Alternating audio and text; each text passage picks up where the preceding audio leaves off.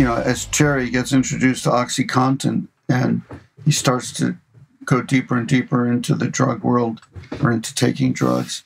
Um, and uh, the the light in the house gets increasingly sort of sketchy and darker, and uh, like the windows are more closed up, and um, uh, it, it, eventually it leads to drug addiction, um, and Emily sort of succumbs. And there's a there's a kind of a breaking point when uh, he comes home all high, and Emily just freaks out and says she can't take this shit anymore. And we did this shot where we built a little rig. My key grip, Jimmy Shelton, built a uh, kind of a rolling rig that Tom could stand on, and we could rig the camera on, and the camera and Tom would move together, but not rigidly. So Tom could like you know, he could like kind of sway in the in the frame and work the camera the way he wanted. Was it like a? Was it kind of like a SnorriCam? I've I've heard I've heard that term where it's the camera. You sort of have a a, a, a waist. Um, like a, a, no, belt brace, not, and the camera kind of sticks yeah. out like this. Yeah, no, it's not because when you do that, what happens then is the camera and you always move together. It's just uh, it's yeah. the same as holding your iPhone out and doing that, right? Yeah. But yeah. what this rig did was he and the camera are moving together through space, but he's free to to play the frame. Mm. So he can bend over and he can do all this stuff like that, and he'll change position within the frame. Uh, and by rolling him around, what it does is because he's not walking, you don't have the body language of walking, so you have somebody that's literally like floating, you know. Ah, through yeah, space. Yeah, yeah, We put a piece of glass in front of the of the lens that I had found on the stage. That was one of the few sets we built. Um, I just I saw it in this like wood frame. I thought it was a prop. So I took the lens out and I put it on the front of the camera, and it's what really uh, warped the image and it created all that chromatic aberration that you saw, which is you know like the color fringing and stuff. Yes, yes. And um, and we wheeled Tom around and he did his acting and um, it drove her you know bananas. So it's sort of the gateway to what, what the section that's called dope life and I just thought it was really important to get across this idea of Emily who had resisted his addiction and finally succumbs. And when she succumbs, um, it's at the conclusion of a there's a scene with them in bed together and they're talking and and it's she's fought with him about taking drugs, but now it's like fuck it. So here I am. I'm taking drugs. Boom. Yeah. And it to me it felt like they're going into a rabbit's hole. They're sinking into the abyss. So I knew they were going to be in bed, and, and I, I asked Joe and Anthony if we could build a set, which, you know, should have had like eight foot ceilings or something like that, this bedroom set. If we could build it all the way up to the the ceiling of this warehouse that we were shooting in. So it wasn't that high. It wasn't as high as I would have liked, but it was a good 16 feet, 16, 18 feet, something like that. So the idea being that the camera is looking down on them. They're lying in the in bed, and the camera's looking down in what we call a top shot, and it and it pulls up and up and up. Now, to feel real, or to feel like you're really in this space, it should stop fairly, you know, fairly soon because it would hit the ceiling. But we keep going like past where the ceiling should be. And what makes it feel that much weirder is it's not like you're going through the ceiling and breaking the fourth wall. the walls are like 18 feet high. So Mm. the camera is just going and going and going, and you're like, wait a minute, that bedroom doesn't look right. That's Yeah, yeah. something is off here.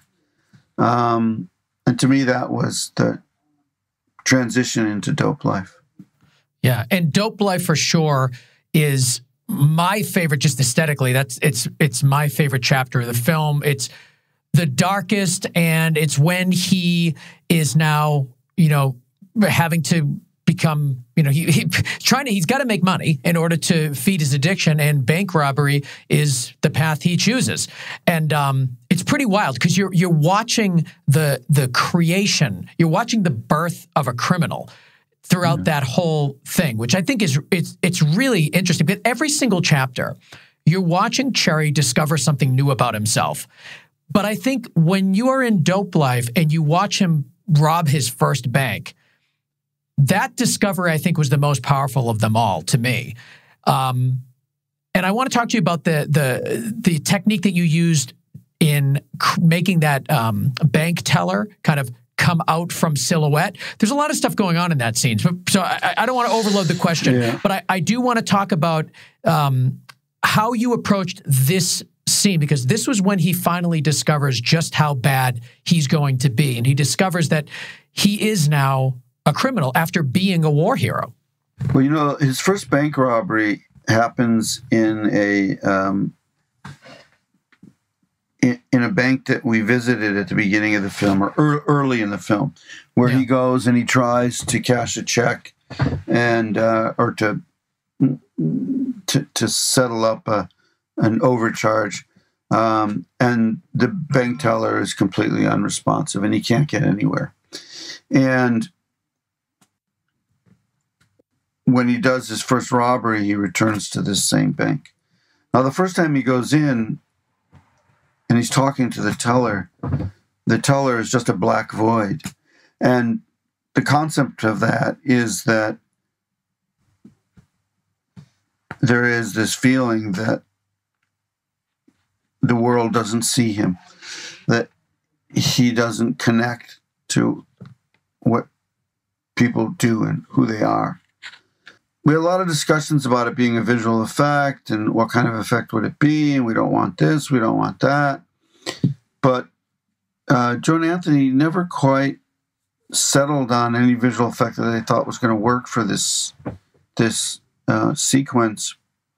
So on the day that we shot i still wanted to sort of give a kind of lip service to the um, what was written in the script and um, I actually found it one of the hardest scenes to light, only insofar as I wanted the environment to feel like it was all lit normally, like it was, you know, the sun's coming into the windows and there's a little bit of fluorescent light on, and Cherry's at the at the teller and the teller's there, but somehow like the teller is just absorbing all the light and like a black hole.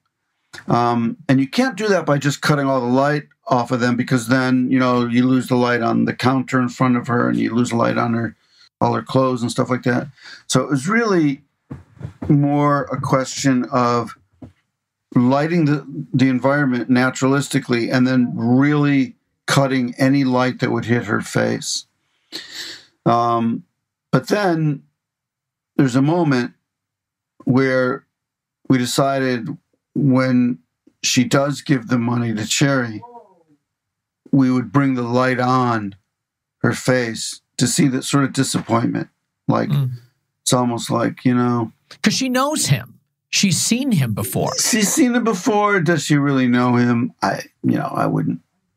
I Well, I think what it is, what it is, is that she sees him. Like she sees him for what he is, exactly, and he, he's He- finally revealed himself to her. yeah, and it's taken a bank robbery for the world to see Cherry. Now that silhouette, and silhouette isn't even really the best word for it because it's not a traditional silhouette in the way No. you're thinking. Silhouette's It's- easy, you know. what I mean, Yeah, it's it's it's different. I mean, you've Yeah. completely taken uh, the character has become a black a black void in the in the scene, and it Yeah. looks like a visual effect. So it's really interesting to see that you've done that practically. But you also carry that through in a later scene in the hospital when Emily um, overdoses, and the nurses and doctors are also in that that completely like black void silhouette look. And I was wondering, is it something where that's how he sees people that he wants things from? Is that is that like wh- what is No, I what think is his it- mindset where where those people that are kind of separating him from in the doctor in the hospital case the person he loves and in the bank case the money he needs is there something there I think in the in the in the hospital, it's much more that he. Um, it's a very dark moment. I mean, she's overdosed on drugs, and he needs these people to save her life, and they're, you know, he feels helpless. So he feels that you know. There is this infrastructure, this hospital, these nurses, these everything, but he can't um like how does he uh connect and like he needs them and they just they want him to get out of the way so they can do what they have to do which is what you do in a hospital in an emergency situation yeah like a, a loved one crying over the the the patient doesn't really help you medically yeah you know so exactly so, um, but from his point of view, it's like he can't reach. You know, like he's he's going. He's really at one of his blackest moments. You know, where he's killed the one he loves. He thinks.